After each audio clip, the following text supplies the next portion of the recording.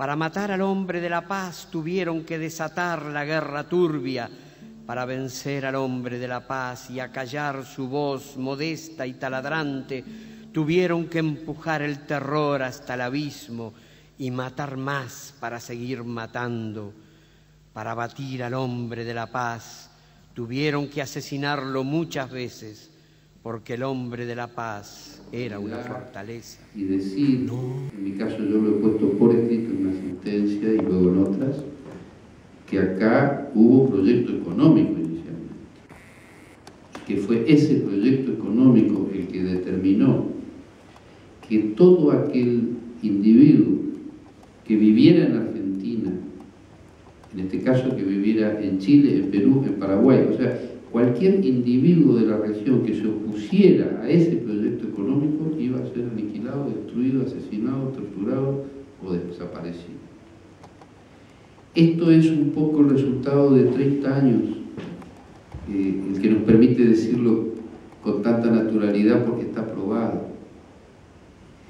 Y porque si no, arrancar en otra etapa, por eso decía que las secuencias son importantes, no arrancar con el proyecto económico que origina la razón del terrorismo del Estado y enfocarlo solamente a partir de la represión, es decir, golpe de Estado, represión, muerte, etcétera nos está privando a nosotros de uno de los elementos fundamentales para poder llegar a entender y eventualmente para elaborar lo que significó el terrorismo de Estado. Es el plan que, como ustedes saben, ha permitido que de un país a otro se borraran las fronteras, no ya para una colaboración de, una integración económica o cultural, simplemente para poder desaparecer mejor a las personas, secuestrarlas, torturarlas, obtener información, etc. y desecharlas cuando ya no servían. Ese es el plan eh, que en la región eh, se instrumentó y que funcionó. Cuando termina ese proceso, por eso yo decía que iba rápidamente a hacer un, recuento para no, no demorar demasiado tiempo, pero lo que pasó en ese proceso ya es conocido por todos, por eso pregunté quiénes eran argentinos o latinoamericanos.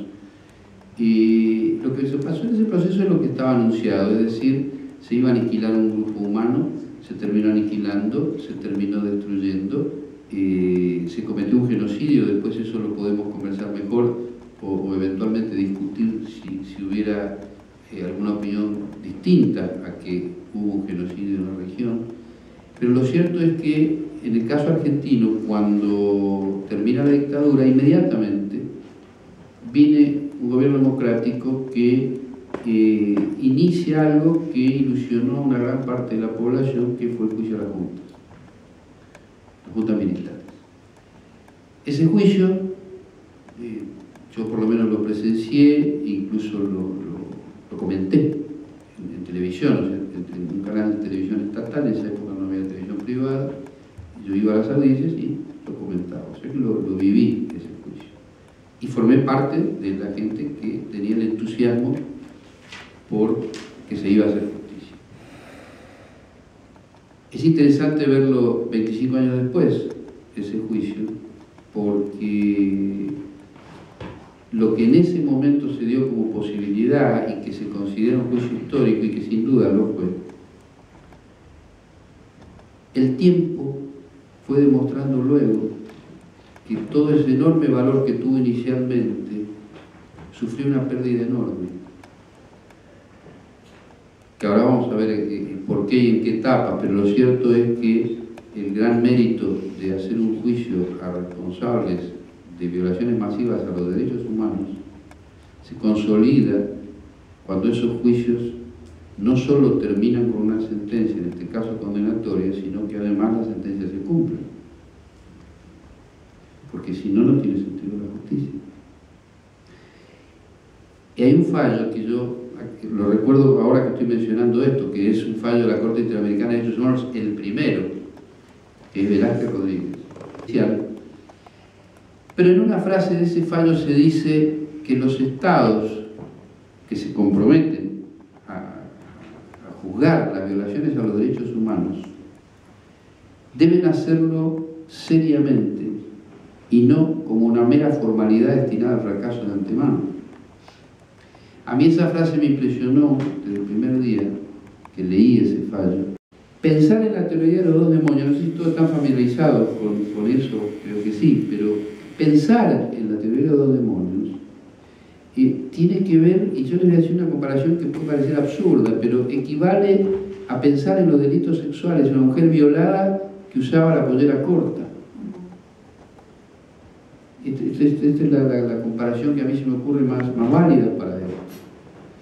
Y la pregunta es, ¿qué tienen que ver? O sea, ¿por qué se hizo tanto hincapié en las organizaciones armadas o no armadas que llevaron a que un gobierno democrático dictara un decreto de aniquilamiento, por ejemplo, ese juez, yo estaba leyendo en internet, el juez que vimos hoy, Cadeo, eh, protagonizó un episodio que fue muy, muy importante en Argentina en los medios en su momento, yo me había olvidado, que es la citación del ministro del entonces, ministro de las Relaciones Exteriores, quedan indultados, y los otros no pueden ser juzgados porque las leyes no lo permiten, la impunidad es total.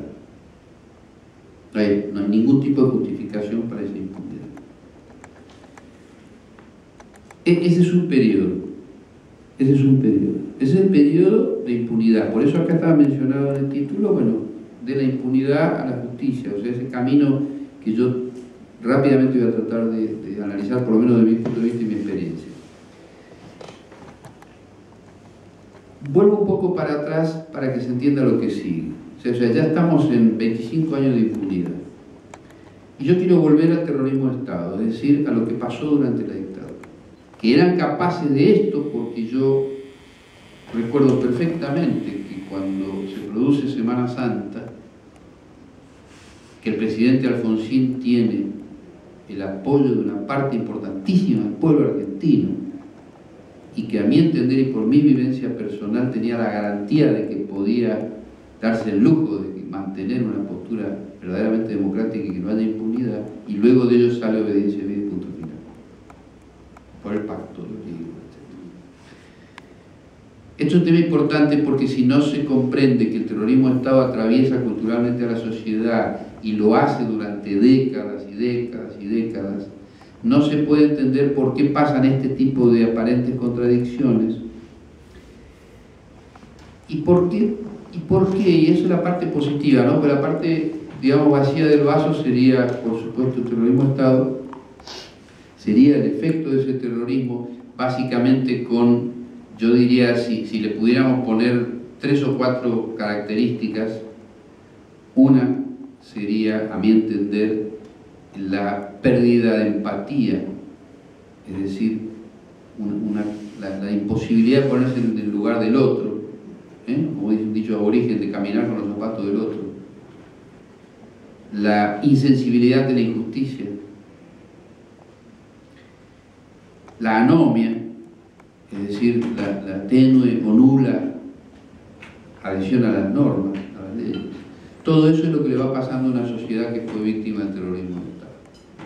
Eso también explica muchas de nuestras actitudes como sociedad, de nuestra, cultura de estas décadas. Y, es importante tenerlo en cuenta porque si no, nosotros también terminamos naturalizando la falta de sensibilidad. Hay, un libro que yo recomiendo que acaba de salir, que es, es el primer libro de una trilogía que escribe Daniel Feierstein, que es un, conocedor, un largo conocedor, experto, de genocidio, y acaba de sacar un libro que se llama Memorias y Representaciones. Yo todavía no terminé del, Poder Judicial, como se sabe, y de lo que piensen los miembros de la Corte Suprema y de cómo actúen, por supuesto, depende de muchísimas cosas en un país. De modo que esa decisión política de incorporar a la Corte Suprema personas que en otro contexto jamás hubieran entrado, como juez de la Corte Suprema, llámese Zafarón y Camilo Eso es un, es un, hecho político que, que tiene una trascendencia jurídica. ¿Por qué? Porque mientras el poder legislativo de esa época anula la ley de obediencia B punto final, o sea que el poder legislativo de una época anterior había dictado esas leyes y el poder legislativo de unos años después las anula. Pero esa anulación tuvo un efecto más que nada simbólico, porque la anulación de la ley de obediencia civil punto final por el Congreso no habilitaba hacer los juicios, de modo que era importante porque era una decisión política, ya no del Poder Ejecutivo, sino del Poder Legislativo, pero no, no habilitaba a que se hicieran los juicios.